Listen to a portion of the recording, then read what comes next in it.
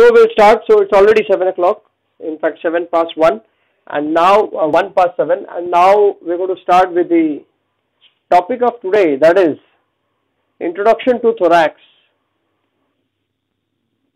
Introduction to Thorax.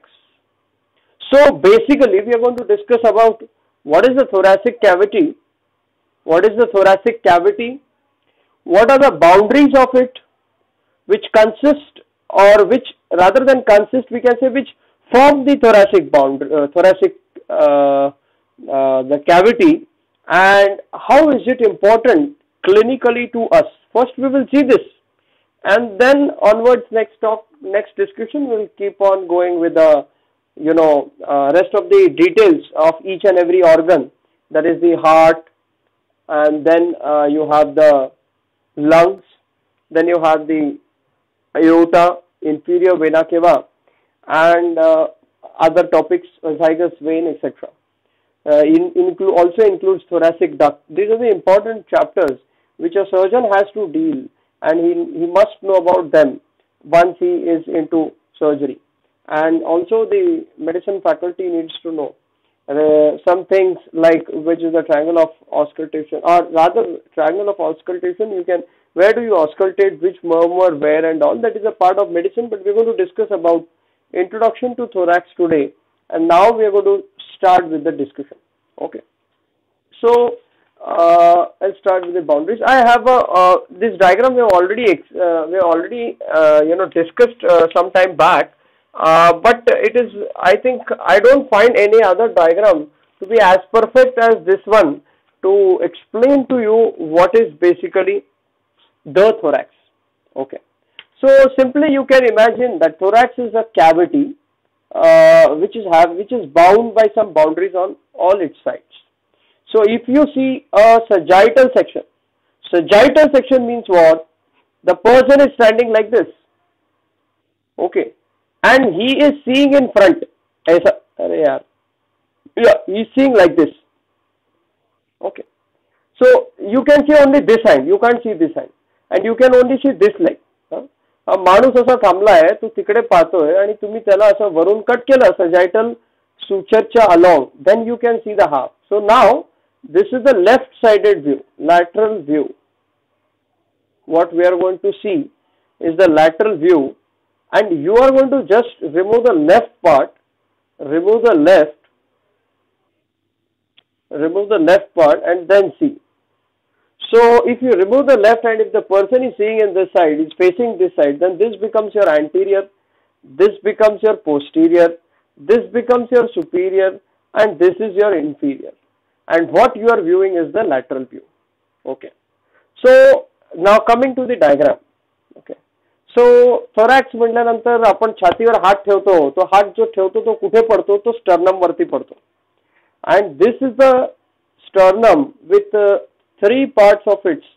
That is the manubrium. This part which usually our textbooks like BDC do not mention which is called as gladiolus which is called as no no how come it is uh, it is not dark on the screen? It is visible. Is it visible to all of you? Please reply is it visible to all of you? Uh, okay, so Arya, you have some local connection problem. Please rectify it. Uh, I think the page is visible to all of you. So this is the hello. Yes, yes, everyone. I I know it is visible. So please mute off your. Uh, okay, I'll need to mute. Okay, so yeah. Yes, Rishikesh Mali, we are, we are, yes. Please mute your mics, please. It, it creates a lot of disturbance, please.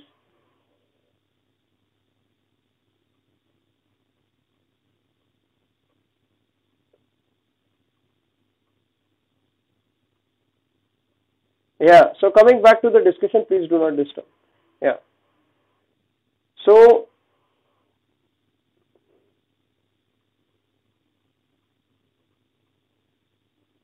Yeah. So this is the gladiolus. Okay, gladiolus. This is the manubrium. And this is the xiphisternum or the xiphoid process. Okay. Now here is the thoracic inlet.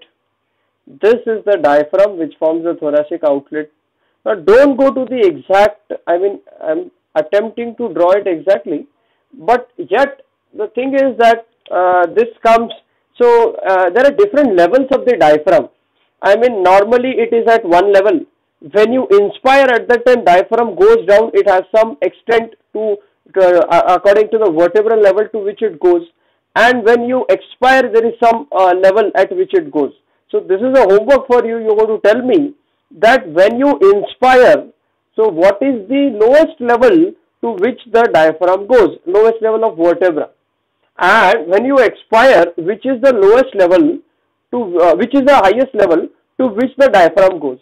And normally when you are breathing, uh, I mean uh, when you are uh, in the intermediate position on an average where is the level of the diaphragm okay this is a homework for you guys you're going to tell me where does the diaphragm lie this may be a, an uh, our uh, one of the mcq questions as well. So you coming to our topic. So behind is the vertebral column. And i already told you that, that there is a there is a imaginary line that that ends at the base of t4 we already discussed this diagram but yet when you're studying thorax, we need to get back to this. Okay. This is the T4, this is the T12, this is the T10, and this is T8, say here, somewhere around here is T8. Okay. Up here is the rest of the thing, this is T1. Now, one of the most important things which you need to understand is that this is the thoracic cavity. So posteriorly it is it is it is bound uh, bordered by the vertebral column this you can imagine. See until and unless you don't imagine you'll not be able to you know ever become a good surgeon. And uh, until you get the Sushrup wannabes models. Once you get them then you need not imagine. You can directly see it in the model. So this is the vertebral column posteriorly aage se sternum. And then superiorly there's an imaginary line. And yes if someone will tell me the name of the you know that fascia which you had mentioned if someone tells me the name of the fascia I'll get a prize yes can anyone tell me till then lower you have the diaphragm you have the diaphragm Oh, till now I have received no answer. So the price is gone and I'll tell this is Sibson's fascia. Uh, my spelling may be wrong. Kindly consider. This is the Sibson's fascia. Sibson's fascia. Okay. So these are the roughly, you know, the boundaries and on the either sides laterally, uh, you have the ribs and you have the intercostal muscles. So laterally what do you have? laterally you have the ribs and you have the intercostal muscles okay intercostal muscles so this is about the thorax roughly the cavity that how it is formed and what are the boundaries.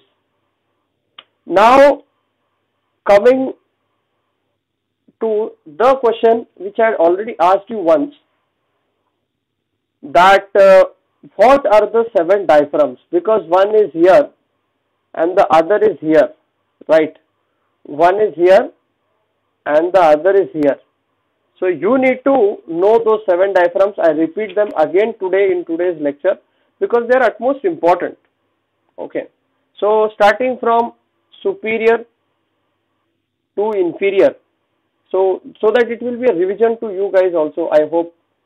Okay. So the first is the roof of pituitary fossa. That is sella turcica roof of pituitary see this is the name I will write here and here I will write the location rough location or the part which is forming it okay the anatomical part so roof of pituitary fossa Pit pituitary which is also known as Yes, epiphysis cerebri and hypothalamus which is known as hypophysis cerebri. Well, that is not the discussion. So this is sella turcica. That is pituitary fossa which is also known as sella turcica and which you already learnt in the 12th standard and the roof of it. So that is the diaphragm sellae. Diaphragm sellae. The second one is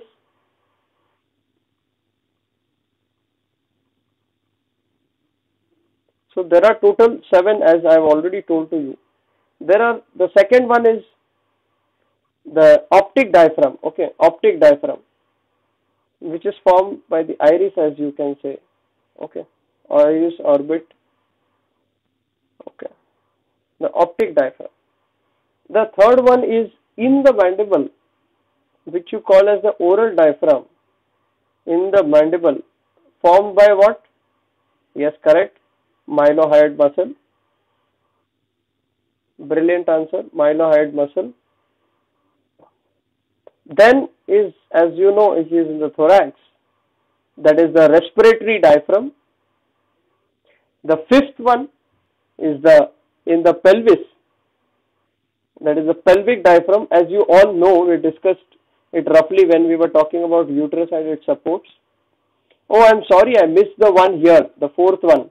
That is the Sibson's fascia, right? Yeah, this is the cervical fascia, Sibson's fascia. I'm sorry. This is a urogenital diaphragm.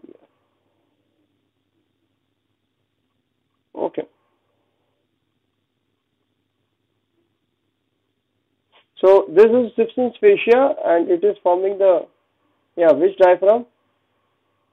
Yes, See, Sibson's fascia actually is a part of pleura. Why am I highlighting this?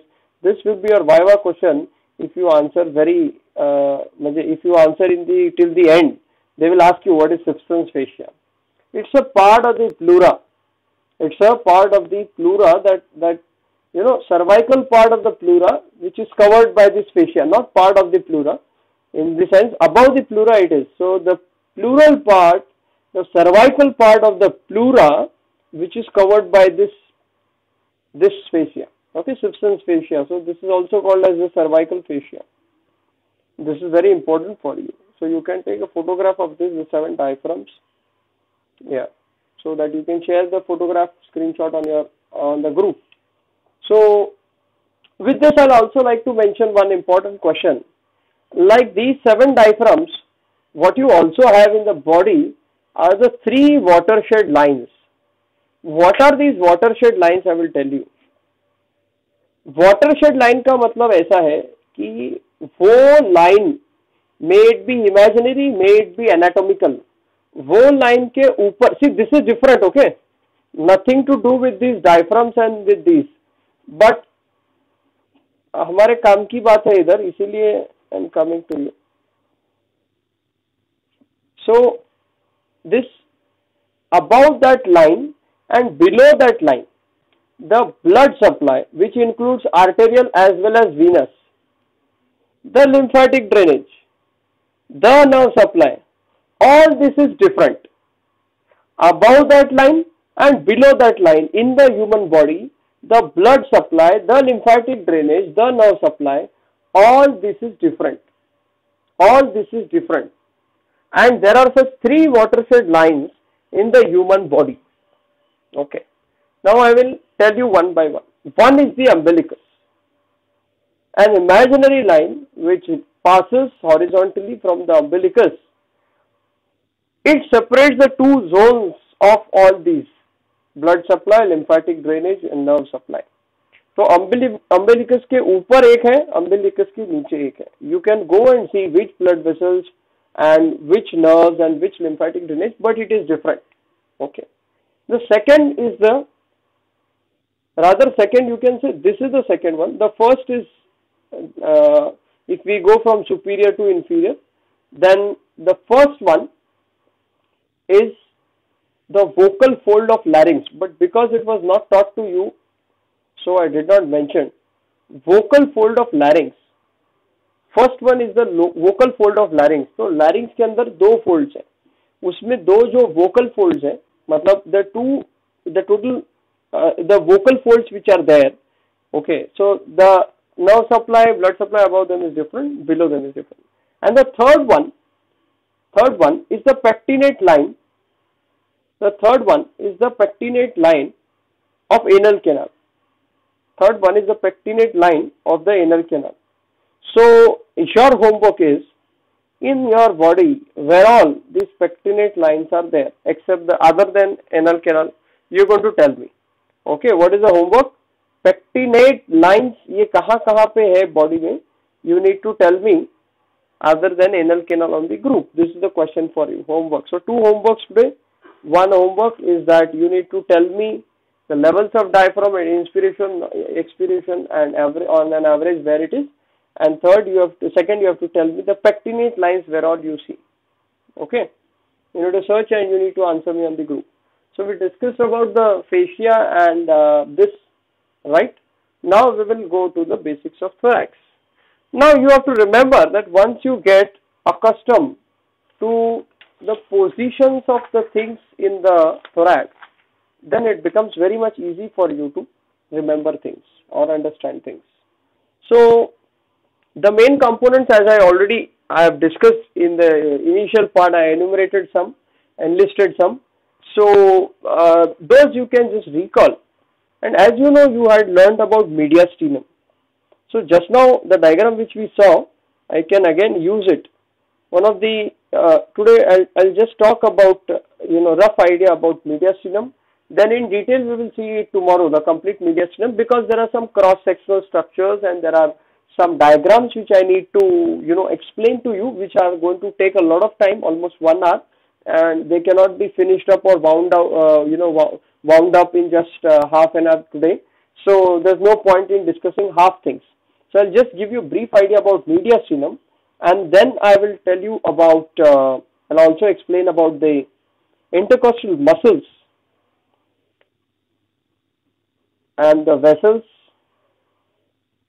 and then we can because these are all short notes which they will be keep uh, they will be asking you mediastinum is a LAQ so we'll discuss tomorrow Uh, I'll give you a brief idea but the intercostal muscles and vessels we'll discuss. And the most important which you need to always remember is the sections cross sections of the thorax of the mediastinum rather which is very important. Day after we will talk about heart and lungs. And rather heart and coronary circulation. And then lungs on the second day with bronchopulmonary segments because they have a lot of applied anatomy and once we discuss these cross-sectional structures uh, there will be almost no need to discuss differently the thoracic duct and all but we'll wind up them wind them up in just one lecture the thoracic duct the uh, inferior vena cava and the aorta okay so now just talking to you about the mediastinum as you are already done with that, uh, very simple for you. We saw the boundaries here with the help of this diagram. Yes. So here is the heart as you all know, right? so, अभी थोड़ा समझ लो मेरा diagram इतना अच्छा नहीं So the mediastinum, I'll briefly, fastly brief you because you're already done with this syllabus, so it's a revision kind of thing to you. So see, this is a superior, I, think I should use another colored pen. Or oh, yeah, here it is. So this is the superior media synum, right? Superior media synum.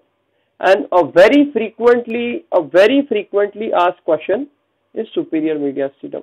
Very frequently SAQ they can ask. Or if they ask, they can ask it as a part of LAQ, saying that uh, briefly describe about mediastinum, different mediastinums, and then you talk about superior mediastinum and applied anatomy. So it can be a LAQ as well, part of LAQ. Okay, part of LAQ. So superior mediastinum, then this is the inferior mediastinum. Okay, inferior mediastinum. In inferior you have the three parts, the anterior, the middle and the posterior. Okay. So just briefly talking, superior mediastinum has uh, two cross sections and uh, diagrams uh, which we will discuss tomorrow in detail. Middle mediastinum is all about heart it's the pericardial sac which forms the medial, uh, middle mediastinum of the inferior mediastinum and posterior mediastinum also we'll see tomorrow along with superior mediastinum. Anterior mediastinum there is as such uh, nothing much to discuss there are just two three structures which I'll enumerate now and label so that uh, we don't have to give a different time slot for this. Now, uh, you need to understand, uh, see there are just 10 minutes left for this meeting, so we'll wind up first with this and then uh, we can uh, continue, okay. So, uh, I was talking to you about the anterior mediastinum, okay. So, if, if you recall, I don't know, this is the cadaver, okay, like this. When you do dissection, okay, this is the cadaver. And uh, when you, uh, I don't know how did you do the dissection, how genuinely, but when you separate the thorax, I mean by cutting the ribs and then from the side, okay, and when you lift this above like this, when you reflect it like this, like this, from at the level of sternum, when you reflect it, see this is a this is a person sleeping, this is his thoracic cavity and this is the samne wala rib cage ka part and you reflect it like this by cutting it from the side from the uh, from the ribs. When you reflect it like this, at that time either beach mein kya rahega sternum. Okay, this is the sternum. Okay, this is see, I am I am trying to color my hand and I am trying to tell you. This is sternum and on either sides of the sternum, actually ho gaya, uh, I should have drawn, see this is the sternum, I'll do it in blue. Here is the sternum and on either sides of the sternum, see okay, I think I am making you visible this way. So I'll tell you again, just get uh, oriented with what I'm saying. This is the this is the thoracic cavity. This is the anterior aspect. This is the yes, the posterior aspect of the anterior wall of the thoracic cage. This हे माणसाची समोरची छाती आहे त्याला तुम्ही rib साईडनी cut केले आणि असं रिफ्लेक्ट केलं त्याच्या अबडॉमन वरती तर तुम्हाला आत काय दिसणार आहे इथे तुम्हाला सगळं पेशी आणि मसल्स दिसतील याच्यावरती इथे इथे इथे डायरेक्टली लंग्स आणि हार्ट दिसेल right you will see the lungs and the heart in between, right, and all the internal structures. Here, what you will see on the reflected uh, the rib cage is that here in between you will have, in middle you will have the sternum, and on either side you will see two parallel going structures. Those are the internal thoracic arteries. Internal thoracic artery is a branch of, come on, who will tell me? Internal thoracic artery is a branch of, again a homework, I am not going to tell everything internal thoracic artery is a branch of. So this is a very important structure. Internal thoracic artery, you must see this in the dissection. On the either sides of the sternum, you have the internal thoracic artery. And now you, you know, you, you use this internal thoracic artery in the, yes, correct, in the plasty In the, not in the plasty, in the open heart surgery, when you put a bypass. So you either use the great, uh, great vein, uh, this great saphenous vein, you put it uh, invertedly, right? Otherwise, uh, I mean the part of great saphenous vein, not the, not of course the complete thing. Uh, the part of the uh, great saphenous vein, you graft it in the bypass surgery or you use the internal thoracic artery. Okay, internal thoracic artery. तो इसी के साथ एक applied question और है which is the muscle you can use for grafting. Arteries we saw that we use for grafting. Which is the muscle you use for grafting? The muscle used for graft is the gracilis muscle. Is it correct? Gracilis muscle, can anyone tell me, am I right? And which is the bone which you use for grafting? It is tibia. Why can I, uh, sorry, fibula. Can anyone tell me why? Okay, this is again a question to you. See, gracilis muscle almost, even if you remove, there's not a big problem. You use it for grafting and fibula, tibia holds the main uh, you know, main weight, it is a weight, main weight bearing bone and fibula used for grafting. So if you see the applied anatomy of this muscle and this bone and this artery, internal thoracic artery and the vein, great saphenous vein, you will see there is grafting done. Okay, there is grafting done. So when you reflect, you see this kind of picture. Okay, you see this kind of picture. So now, okay, there are five minutes more. We will discuss very swiftly uh, the structures inside the anterior. So this is why I was telling you about internal thoracic artery is the reason is that internal thoracic artery here you will see. In the it is of course because it is parallel to the sternum you will see as a part of correct that is the anterior mediastinum so just I am labeling it here and you will see the internal thoracic artery. And what you will see you will see two ligaments and you will see the ligaments that is the sternopericardial ligament sternopericardial म्हणजे काय which is connecting the sternum and the pericardial sac and the pericardial sac. Everything is in the name. You don't have to mug up anything. Sternopericardial ligament. Okay, this green color I have shown you. So, the ligament ka kya kaam hai? It is going to keep things in position. Okay. And rest all is the fatty tissue. Okay, rest all is the fatty tissue. So, uh, I think I am able to tell you about the anterior mediastinum. Now, middle mediastinum is the heart and coronaries and all that which we are going to discuss later on. And one more thing, this we saw parts of mediastinum. ये ऊपर नीचे आगे पीछे पर ये media स्टीरम के boundaries क्या है? There is a very simple diagram how you understand what is mediastinum see this is a thoracic cavity या so if this is a thoracic cavity you need to define mediastinum as well they ask you define mediastinum so this is a thoracic cavity here you have the two lungs. When you take a cross section they appear this way. So this area in middle this is the mediastinum. This basic diagram see this is the anterior part I'll orient you. Here is the vertebral column. So this is anterior. This is the sternum. This simple 2d diagram which is given in old books you it will solve so this is you when you write instead of defining mediastinum or you can simply draw this diagram. This is mediastinum this is left lung. This is right lung. Because you are seeing the person from behind. So this is the mediastinum. This simple diagram can solve so many questions and uh, rather in uh, if you want to define it what you have to say mediastinum this is the textbook definition. I am not telling of my own.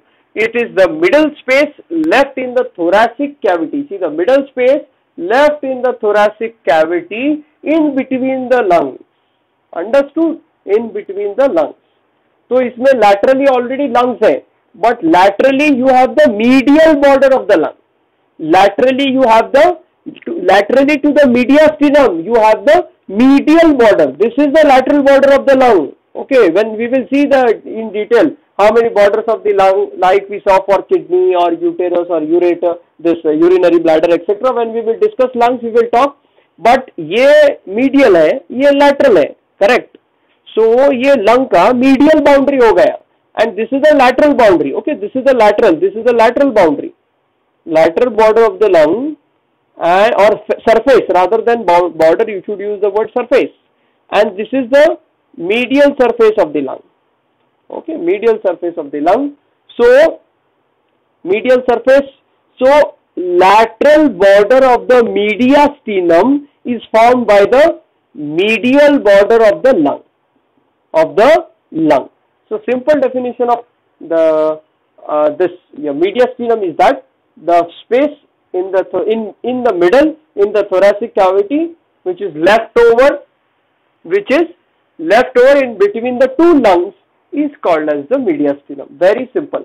So you draw this diagram then you draw this diagram see this diagram is not given in the new textbooks. I if you i appreciate if you take a screenshot even i will take a screenshot for you. And uh, this one is the for the yeah.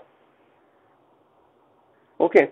Now uh, there are just 30 seconds left. I will end this meeting. We will start a new meeting and then we will discuss the intercostal uh, muscle space and uh, and what more one more thing yeah muscles and vessels. Okay